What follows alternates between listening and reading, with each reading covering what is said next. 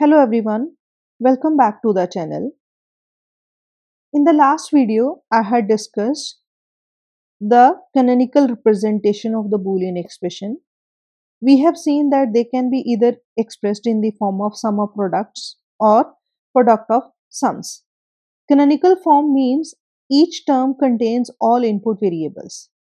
But it is not always the case that we are given with the canonical expressions we might come across certain boolean expressions in which in few terms one of the variables or two variables are missing.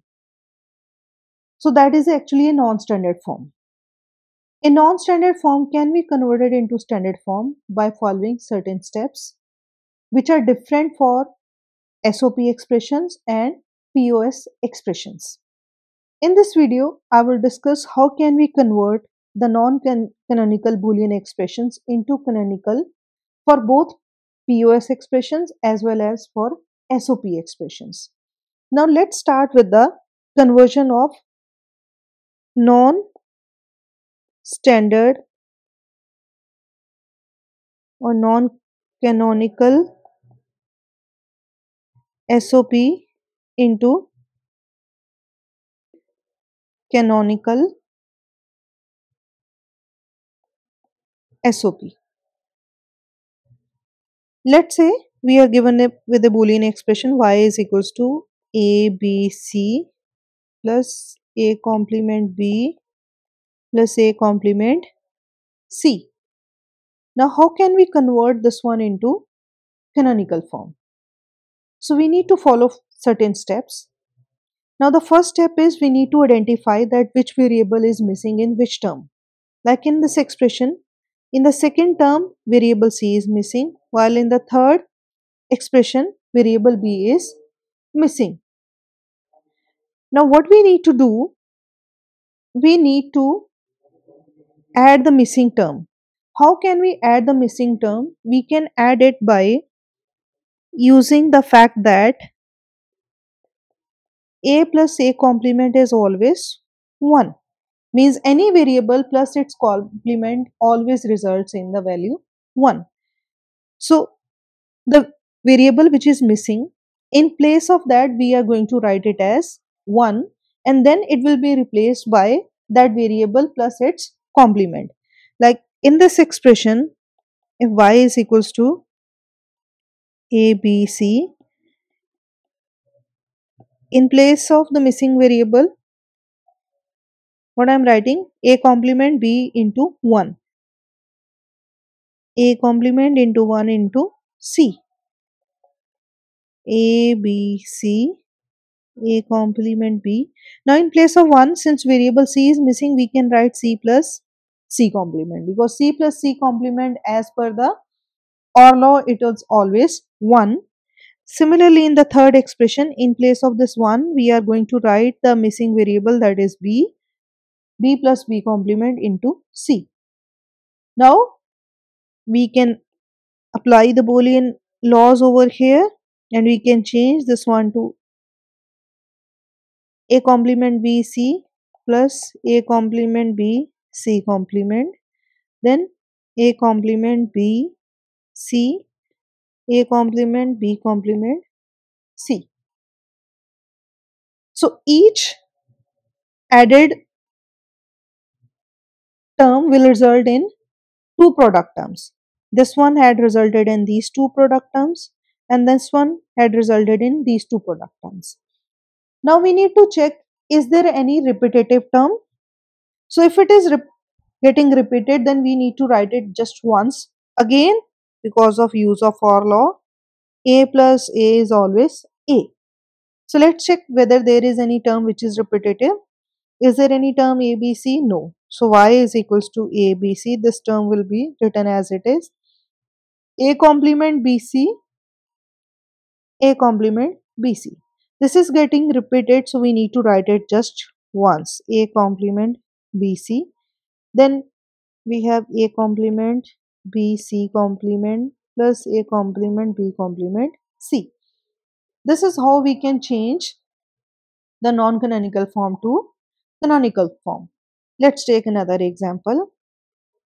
Question can be like convert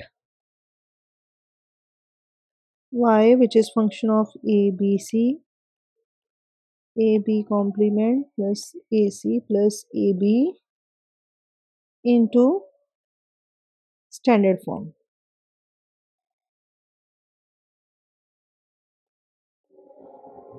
Now how can we do it? Y which is function of ABC in first term add c plus c complement since variable c is missing. In second term variable b is missing so write b plus b complement. In third term again c is missing a b c plus c complement. Now let's expand all these because each added variable and plus its complement will result in two product terms. So we have a b complement c. A b complement c complement. A b c. Is a b complement c. And the last one a b c. A b c complement. Now let's see which terms are getting repeated. A b c a b c. So they will be written just once. A b complement c a b complement c. So two terms are getting repeated twice.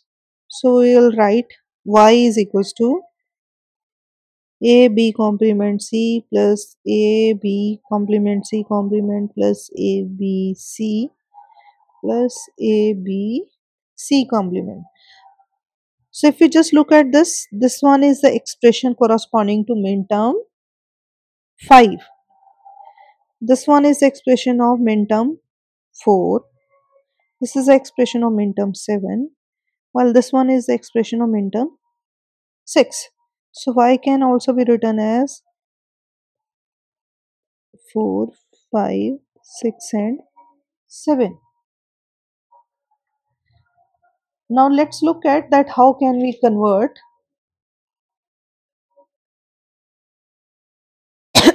a non canonical POS to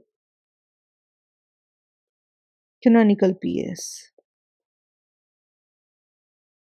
Again, I am going to discuss it with the help of example only. Let's say we have expression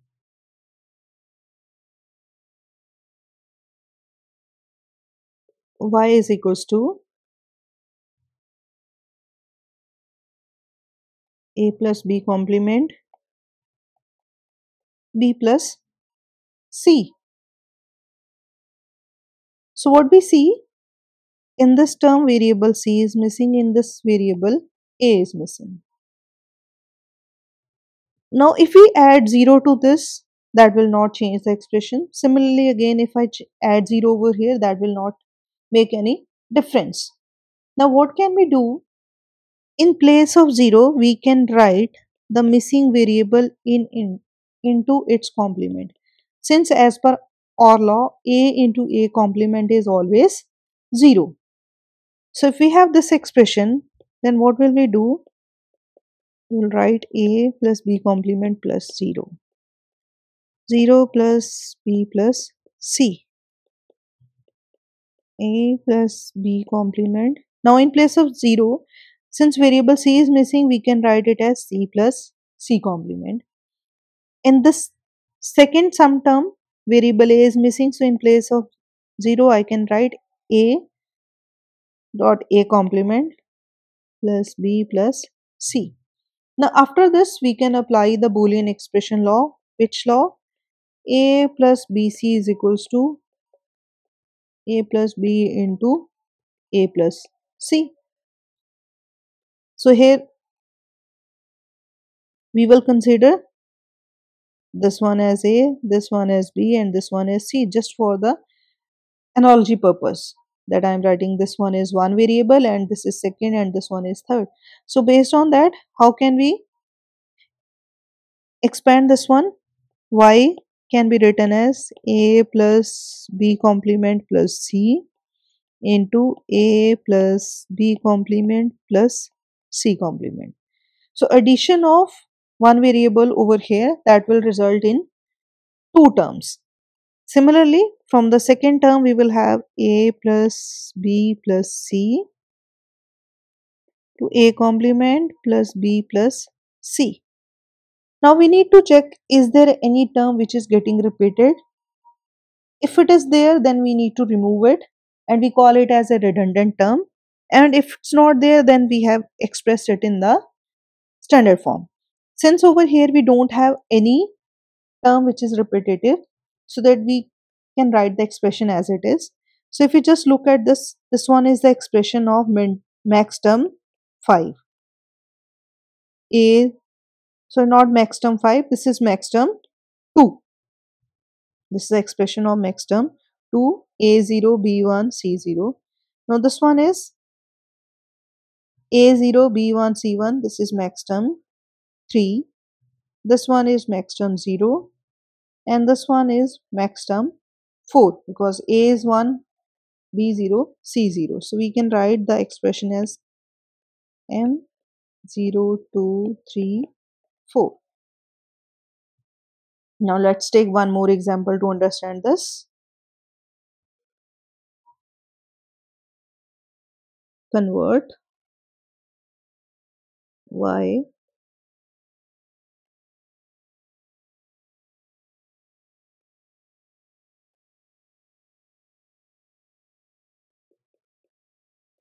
into canonical form.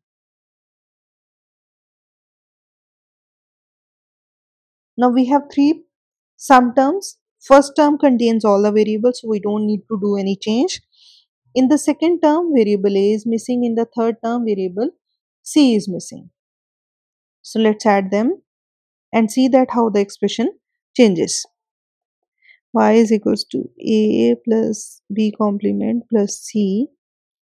In this we will write 0 plus b plus c complement a plus b plus 0 a plus b complement plus c now in place of 0 i'm going to write the variable which is missing into its complement because a into a complement is always 0 plus b plus c complement a plus b plus c into c complement. Now let's again apply the same law. A plus b plus c. It will be written as a plus b plus c complement. a complement plus b plus c complement. This is the result of this term and this term will again result in two terms a plus b plus c a plus b plus c complement. Now let's check which term is getting repeated. This term and this term they are repetitive terms. Now since a into a is always 1, so this term into this term is always, so not a into a is not always 1, a into a is always a. So this into this is always same. So we need to write just once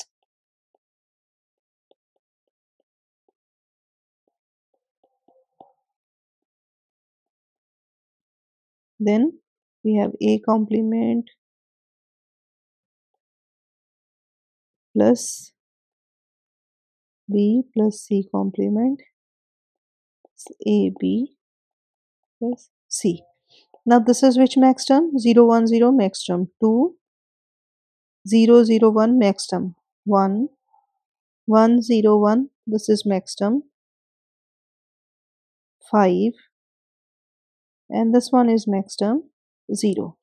So y can be written as pi m 0, 1, 2 and 5. So this is how we can change the non-standard forms to standard forms. Now this can be extended to 4 variable. Again we need to use the same steps in that case also. I will do that in the coming videos. But in the next videos, I will move on to the K-maps, which is actually the technique more useful for minimization Boolean expression in comparison to the use of Boolean laws. Now if you feel this video is helpful to you, consider subscribing to the channel. Like this video and share with your friends. Thanks for watching the video.